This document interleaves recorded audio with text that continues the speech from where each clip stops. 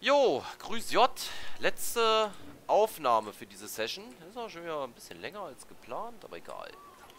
Ähm, wir gucken mal, was die letzte Folge ja, an Geld gebracht hat. Hammer Swing? Achso, ich wollte gerade sagen. Das müssen wir nehmen.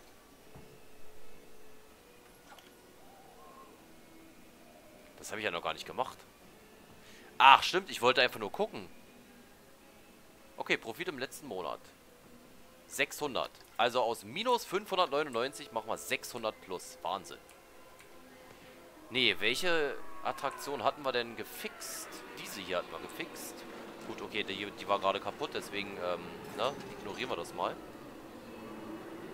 Profit im letzten Monat. 7, 6, äh, 7, 38 minus. Ja. So, dann haben wir es jetzt hochgepowert. Mit der Warteschlangenbewertung. Wobei da ein kleines bisschen Spielraum wäre. Dann werden wir hoffentlich jetzt wieder in die schwarzen Zahlen mit dem Geschäft gehen. Problematisch wird es bei den Sachen, die von Anfang an schon auf 100 waren. Weil äh, da ne, passiert nicht viel. Hier zum Beispiel werden wir auch nicht hoch sein. Naja, okay, nach 78. Äh, wir bauen hier mal einen Brunnen hin. Damit wir da die 100 haben. Passt sogar halbwegs. So, und dann würde ich da noch ein paar Büsche hinsetzen.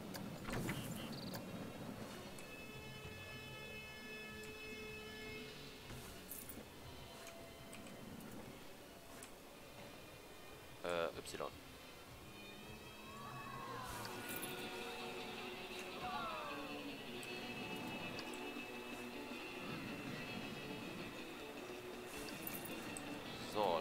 kleinen Bogen drumherum. So, dann sollten wir jetzt hier bei 100 sein. Gehe ich zumindest mal fest von aus, jawohl. Ich weiß nicht, ob das Ding dann mit nochmal belebt wird. Ich kann es mir schwer vorstellen. Ähm, weil einfach das schon zu alt ist. Na, wobei, ein bisschen geht sogar.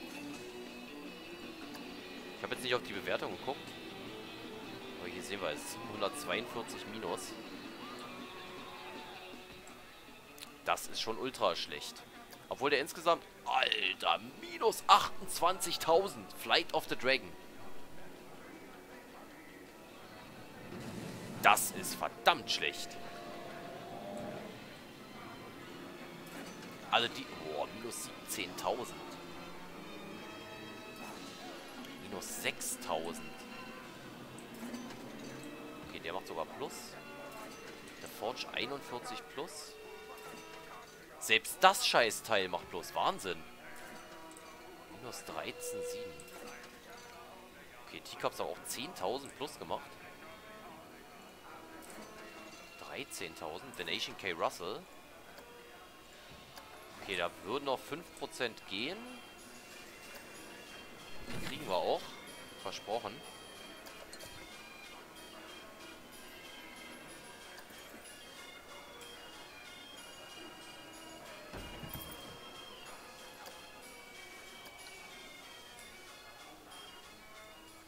So, dann müssen wir es hoffentlich haben. Ja. Wenn ich den letzten lösche. Okay, das Teil reicht schon aus. Wunderbar. Gut, dann sind wir da auch bei 100%. Äh, Pipshot, bla bla blub.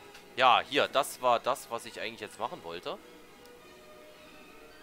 Äh, da muss ich allerdings mal ein bisschen tiefer in die Szeneriekiste greifen, glaube ich.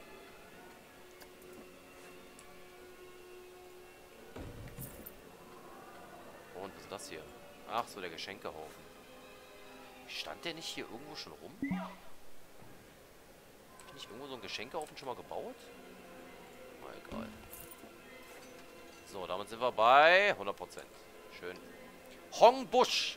Wer kennt ihn nicht? Olle Hong Bush.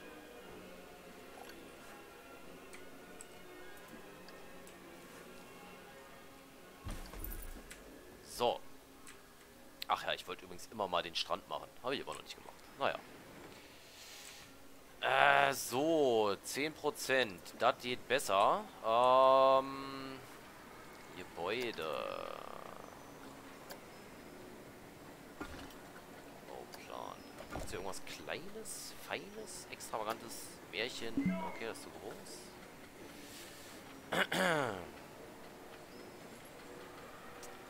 Turm, aber den Turm habe ich hier irgendwo gebaut schon, ne? Genau, der steht da hinten drin, ne?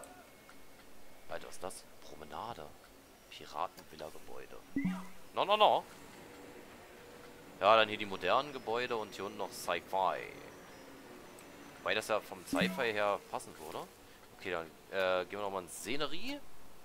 Übrigens 11.000 haben wir gerade plus. Ohne dass ich es beschwören möchte.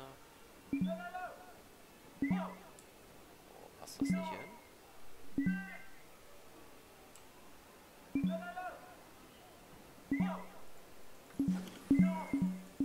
Okay, irgendwas ist blockiert.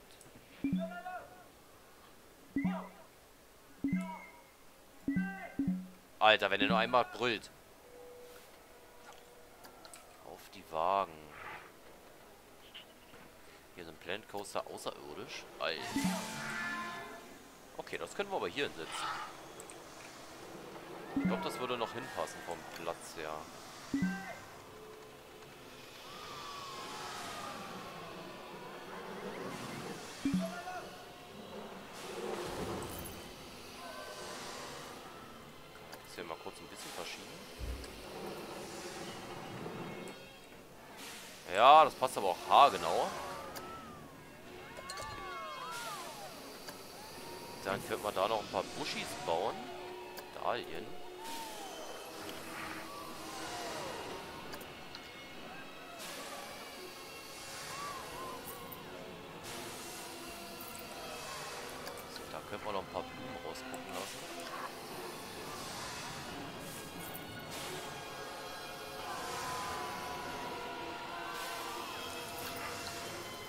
Erkennt man die? Jawohl, die erkennt man. Sehr schön. So, dann sind wir hier schon bei 72 Prozent, ne?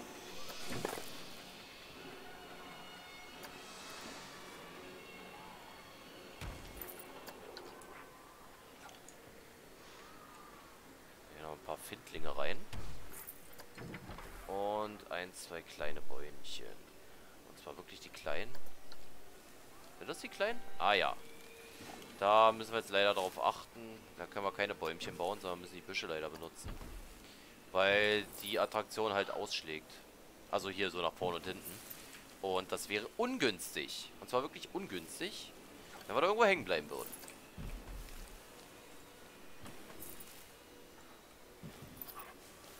So, nochmal so ein Scheißteil hin.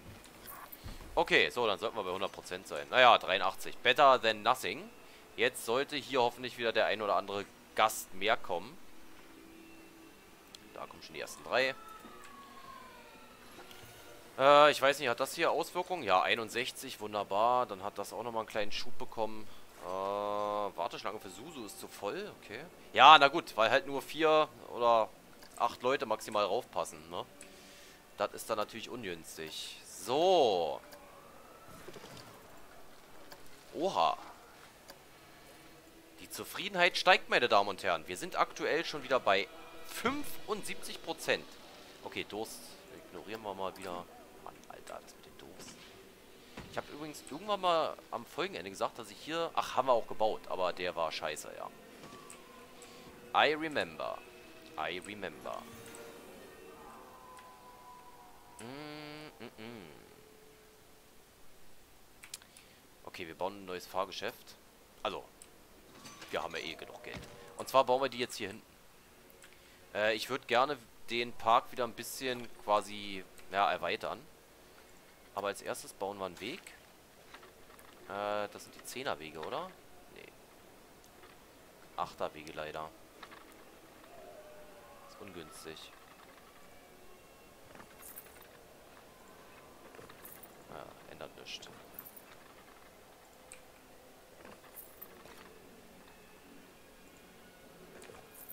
So, da bauen wir eine Verbindung. Was verdammt viel Sinn macht. Und das meine ich wirklich ernst. Denn jetzt können die Leute von hier oben gleich nach hier hinten kommen. Und hier werden wir Fahrgeschäfte bauen. Und zwar The Victoria. Das geht nicht, weil das Ding ausschlägt. Natürlich. Setzen wir die Victoria hier hin.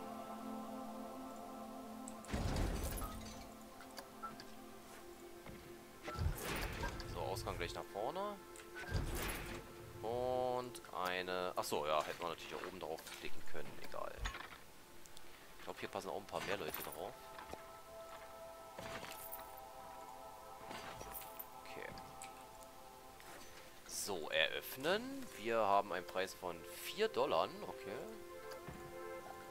Ich hätte jetzt irgendwie das Doppelte vermutet, aber okay. Äh, Gebäude. So, wir waren hier beim Märchen.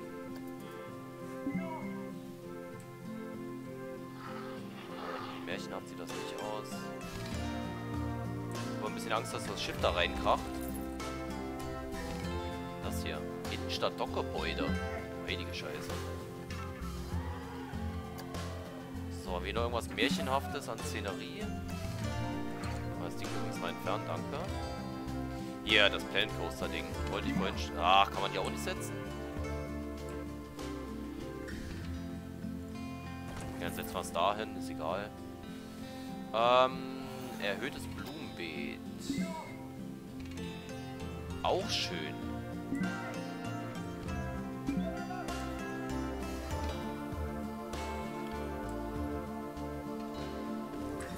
Sehr schön. Das X markiert die Stelle.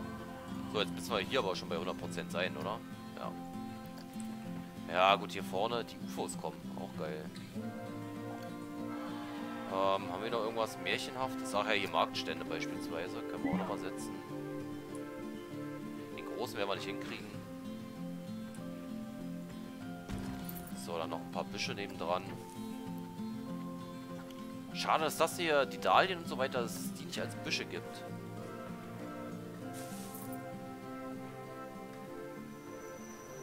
Das würde ich halt auch noch ein bisschen feiern, aber das gibt es leider nicht.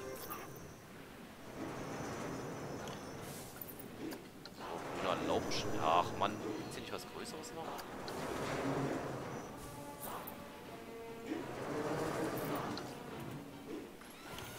Okay, gut, das Schiff rastet nicht in den in das Gebäude ein und auch hinten nicht in den Baum hoffentlich, oder? Ne. Schwingt genau daran vorbei.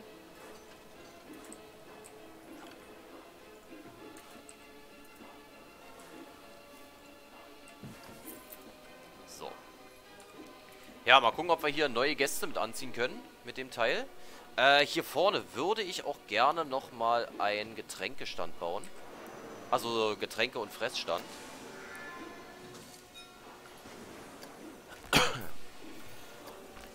so ein doppeltes Ding. Ähm, das hier, Märchendorfladen. No, no, no. Gleich gegenüber.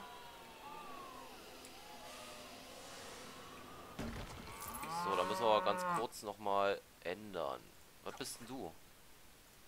Ihr seid beides Cosmic Cow Milkshakes, wa? Ja. Fliegt der eine raus und wird zu einem...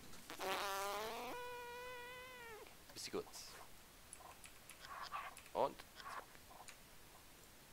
Missy, good. Mäßig gut. Jo, danke. Haben wir das auch? Ah, wo ist denn hier das nächste Personalgebäude? Ich glaube hier vorne irgendwo. Langer Weg? Oder hier oben? Ich wollte hier mal einsetzen. Ich erinnere. Okay, das sieht immer noch scheiße aus, aber egal. Hier ist ein Personalgebäude. Was, was, was? Sicherheitsdienst hat gekündigt? Hier, komm mal zurück, Digga. Äh, warum hast du gekündigt? Hab ich euch nicht ausgebildet?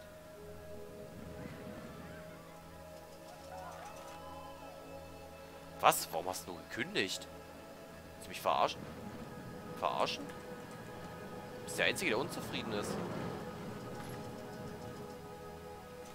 Aha. Oder habe ich dem vergessen, das Gehalt zu geben? Dann tut's mir leid.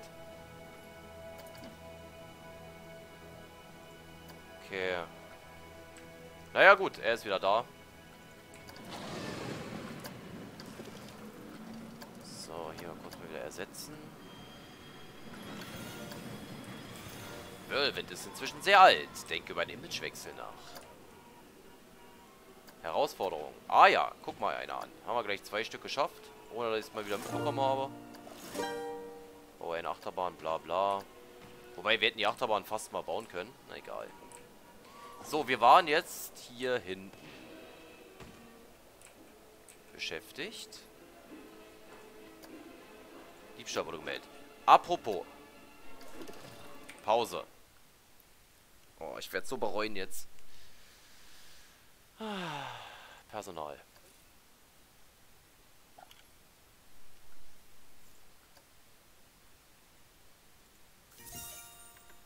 Okay, das war das Unwichtigste überhaupt. Hausmeister würde ich gerne alle verbessern.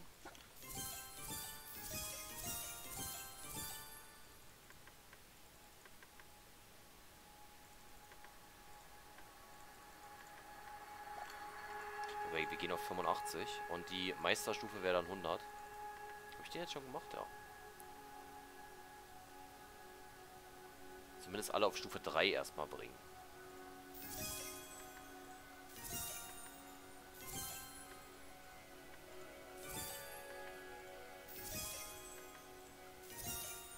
Viele gerade mal Pause machen? Unfassbar. 2, 3, 4, 5. 5 Leute sind schon wieder Pause machen. Okay, gut. Dann haben wir erstmal die ganzen Hausmeister auf Stufe 3. Techniker würde ich gerne auch alle auf Stufe 3 haben. Ich finde zwar dem, das Gehalt ein bisschen übertrieben, aber egal. Das werden wir dann bei der nächsten Stufe anpassen. Dass wir auf 190 und dann 200 gehen. So, Sicherheit, die sind alle auf Stufe 2. Die, oh Gott, das ist halt das Arschteure. Die würde ich gerne alle auf Stufe 3 kriegen. Aber das kostet richtig Asche. Kostet hier 750 schon, ne? Ja. So, Jesse Blackman. 7, 8, 9, 10, 11, 12 haben wir gerade. Und wir haben Minus gemacht. Ach so, klar, weil die äh, Ausbildung mit dazu zählt. Die Ausbildung zählt mit quasi in die Parkverwaltung mit rein.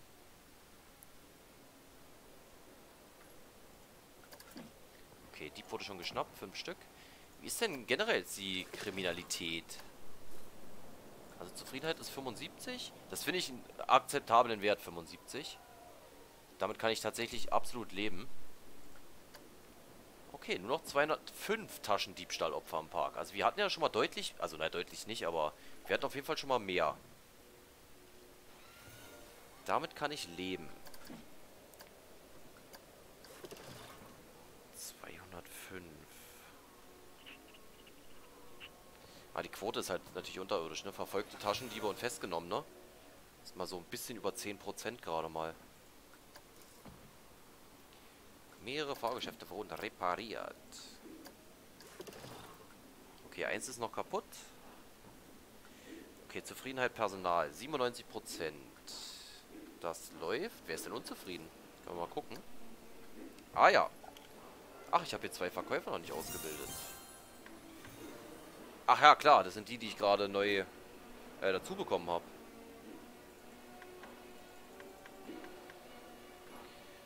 Ihr dürftet jetzt auch dann auf Stufe, äh, auf äh, Zufriedenheit Level 100 kommen. Oha.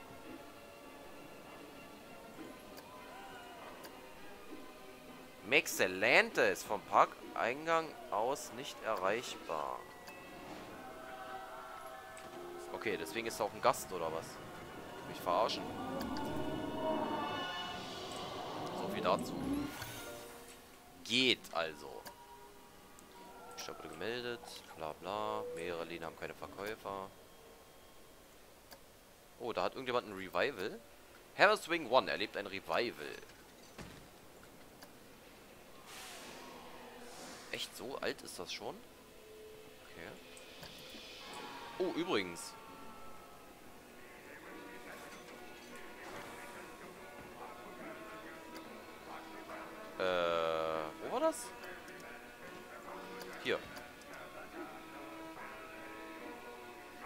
In sechs Monaten wird dieses zum Dings. Image wechselt dreht für einen Fall die Zeit zurück und gibt dem Status etabliert. Nö. Das ist ja Quatsch.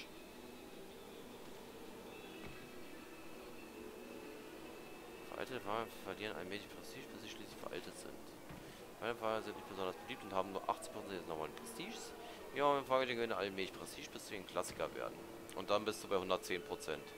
Also wie am Anfang quasi. Es endet, wie es begann. Kann man mal so festhalten. Prestige mehr zu zahlen. Okay, ja. So, Diebstahl aufgeklärt. Diebstahl, Diebstahl. Naja, okay. Minus 1 quasi. Schneeadler wurde repariert. 3,5. Okay, wir haben wieder 5300 Gäste. Und ich mache immer noch kein Marketing, ja. Also überlegt mal, ich würde jetzt noch Marketing machen. Da wären wir dann wahrscheinlich so bei knappen 4000. Und dann würden sie uns wieder die Bude einrennen und naja. So, Pipshot, Pipshot. Maxellente Galbi Ice Shaken zu viele Gäste versuchen, das Ding hier zu benutzen. Auch geil. Einfach so ein 0815 Greifautomat, der die Gäste anzieht. Sehr schön. So, ist hier jetzt eine Schlange? Nö. Obwohl, die Reihe ist voll. Die andere Seite ist noch komplett leer.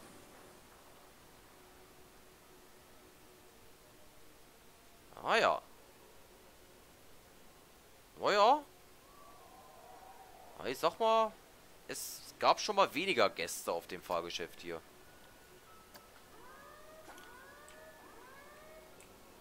Achso, ich wollte gerade sagen, was ist das? Alarm. Alarm, meine Damen und Herren. Elixir Machine ist nicht mehr neu. Aber wir haben uns tatsächlich erst einmal, ich betone es extra fürs Spiel, erst einmal äh, erholt von den ganzen Strapazen. Ah.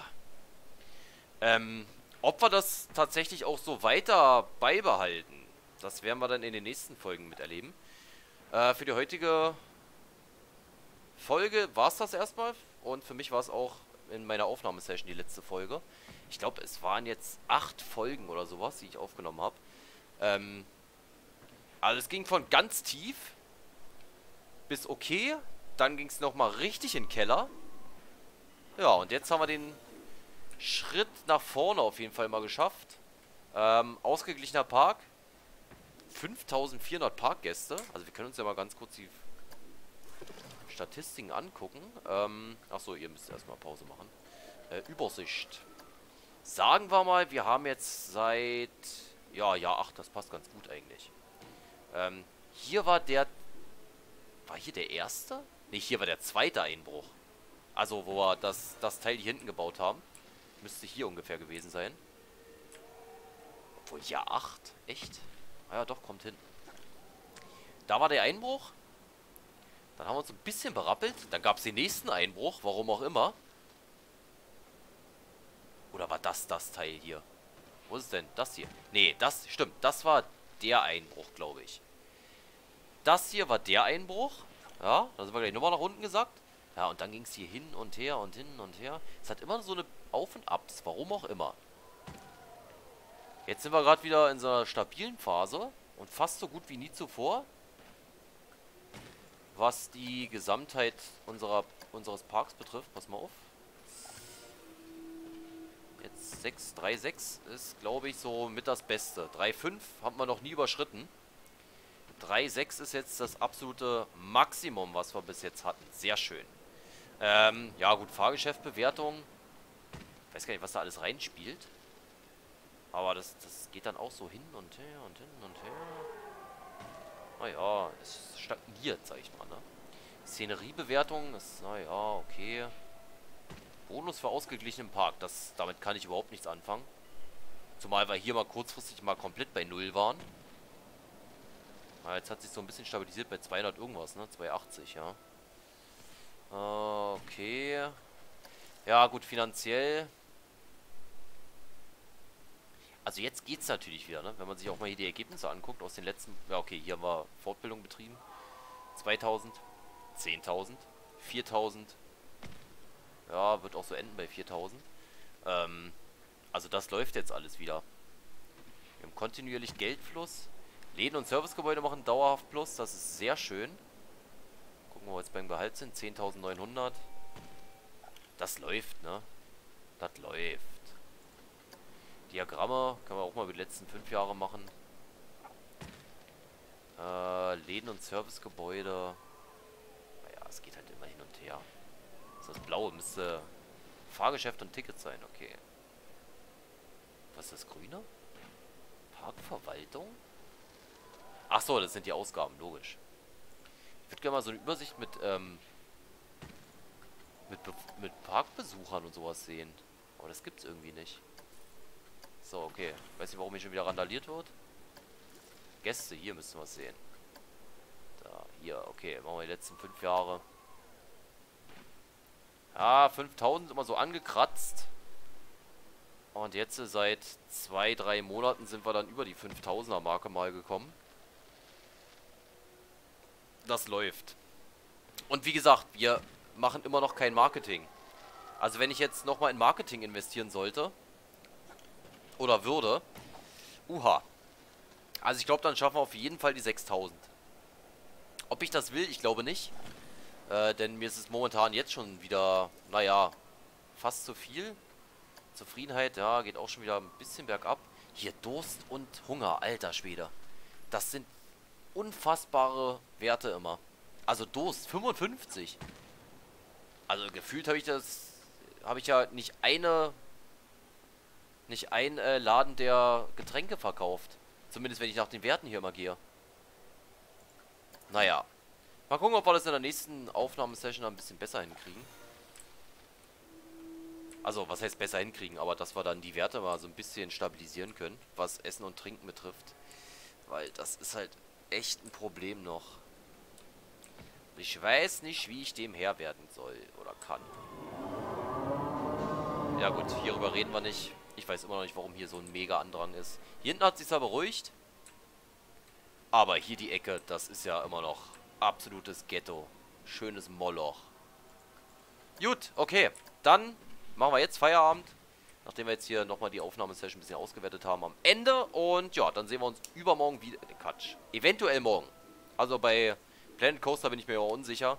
Ähm, da gebe ich keine Versprechung. Aber ich denke, wir werden uns nochmal wiedersehen zu einer weiteren Aufnahmesession und zu ein paar neuen Folgen. Ähm, ob das genau ab morgen weitergeht, muss ich mich mal überraschen lassen, wie ich es zeitlich hinbekomme. Und ja, dann sage ich bis die Tage. Haut rein. Ciao und tschüss.